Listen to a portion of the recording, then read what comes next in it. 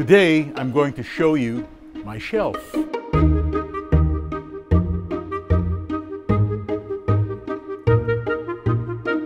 Hi, I'm Butch Dalisay, a retired professor of English and creative writing in UP.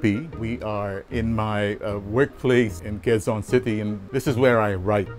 So ito yung aking uh, personal library. Dito sa shelf na to, ang lahat ng mga librong sinulat ko. Dito yung mga librong uh, inedit ko o kasama ko sa, pag, sa pagsusulat. Ito yung row ng mga shelf ng mga libro na talagang gusto kong basahin, masarap basahin. Itong, itong shelf naman na ito, libro ng mga pirmado. I have other books, of course, in these shelves, yung antiquarian books. Dito naman sa aking aparador ay mga koleksyon ng mga manuskrito at yung mga fountain pens ko. Uh, this is uh, my Underwood typewriter from about maybe about 1923. My stapler from the 1930s. Well, so here we are. This is my my workplace, my refuge.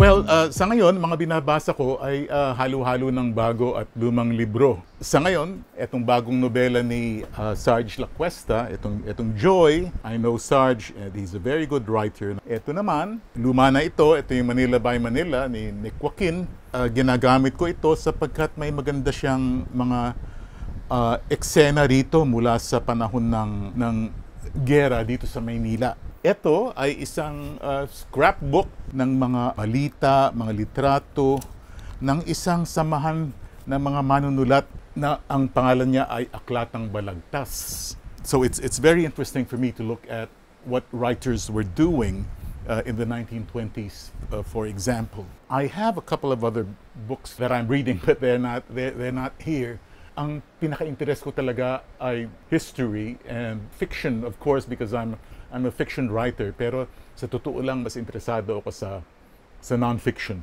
But uh, I, I do, of course, have a, a, a fairly substantial library of, of Philippine uh, literature from the early 1900s uh, to the present. Karamihan sa English, pero marami rin akong material sa Filipino. Noong bata ako ay hindi naman kami mayaman.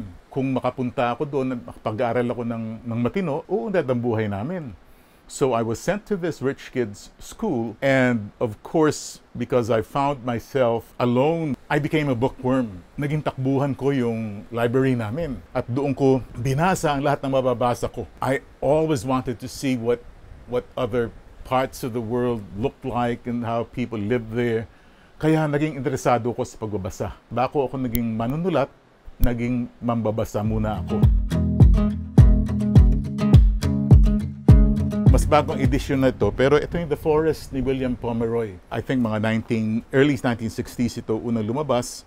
And, and this is an account of an American former GI soldier who joined the uh, the Hukbalahap, you know? and it's it's very lyrically written. When, when people ask me, "Are there books that changed your life?" Uh, this is this is that book for me. Kasi dito ko nakita yung resistance ng mga tao against injustice in in Philippine society at, at that time. In other words, dito ako namulat. I blame this book bakit ako naging aktivista. May isang author na nagsulat ng mga libro I identify with on the fantasy level. Ini-imagine ko yung buhay niya full of adventure and challenge. Si Paul, Paul Proust de la Gironnière. Ito yung isa sa mga first edition ng libro niya uh, in French. Ito yung adventures of a, of a Frenchman in the Philippines. It awakened my, my passion for adventure and travel kahit na vicariously lang. Lagi ko naiisip yung panahon na wala pang mga eroplano, na sumasakay lamang ang mga tao sa vapor. This is why a lot of my books, especially my collection of antiquarian books, are about travel and global exploration, especially in the in the 1700s. Well, uh, okay, so this is probably more uh, indicative or representative than the actual books themselves. But I would bring, uh, among other things, a book of poetry. And this is one of my favorite poets, si Constantine Cavafy. Ang poetry kasi, it, it composes you and reminds you that even in the worst of circumstances, you can find, you can find beauty and order.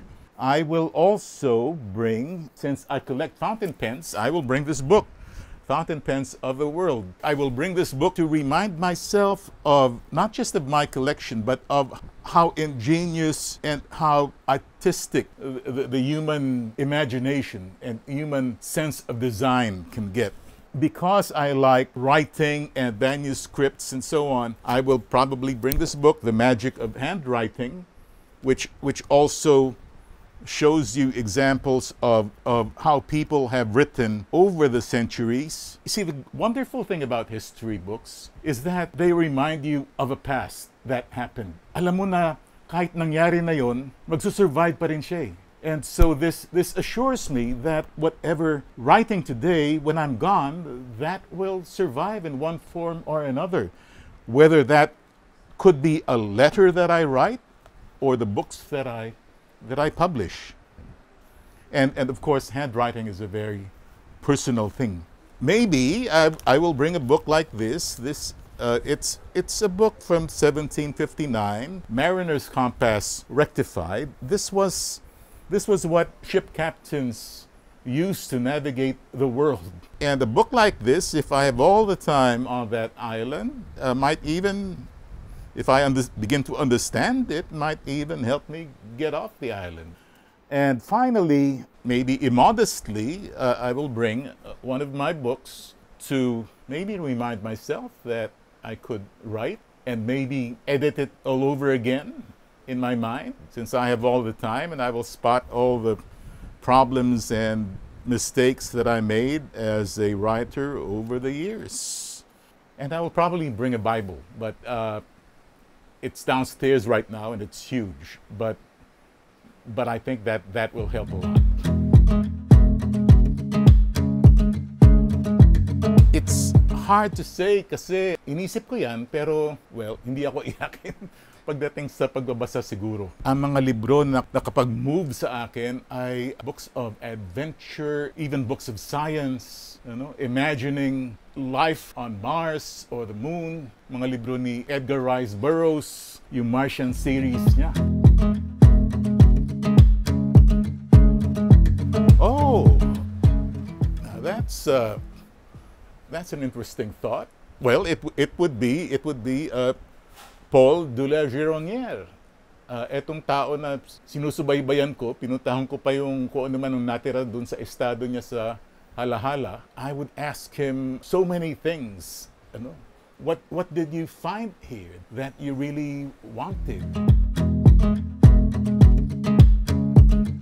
This is a book of English essays from, from 1551, and it has a very long title, as you can see, an abridgment of the notable works of Polydore Virgil containing the diverse and, and etc uh, published in 1551 in, in, in London. It, it's a book about the, the church, about history. The most amazing thing about this book is, is where I found it. I found this, of all places, in, in Cubao, sa olx.ph. Ay, uh, parating pa lang yung mga yon, libro sila ng Philippine history. Isa pang libro na uh, An Ohio Woman in the Philippines uh, the, these are all books from the period of the American occupation ng mga 1900. Pero parating pa lang sila dito sa Pilipinas.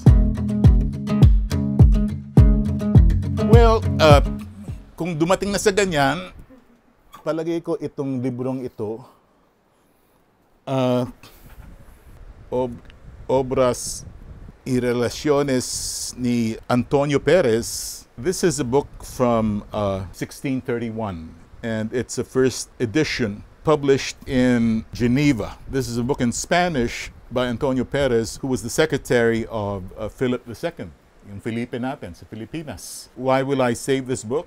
Uh, simply because it's it's the most valuable among all my books here. I won't give you a price, but if I sell this tomorrow on the market I can probably buy all of these other books here again. Kaya uh, ito na lang yung pambawi ko. The magic of holding something in your hands that's about you know 400 years old and is still usable. And and being an author myself, Ah, mangangarap ka na yung mga sarili mong trabaho ay mag-survive ng ganun katagal. I buy these books to save them, but also to, to celebrate the, the fact of their survival into another century. If you're a young writer and you want to go on in a life of fiction, then these are some of the books that I will. Isang classic ito, Nine Stories ni J.D. Salinger, uh, one of my favorite writers whose writing style can be can be very subtle uh, and very quiet but powerful in its in its own way.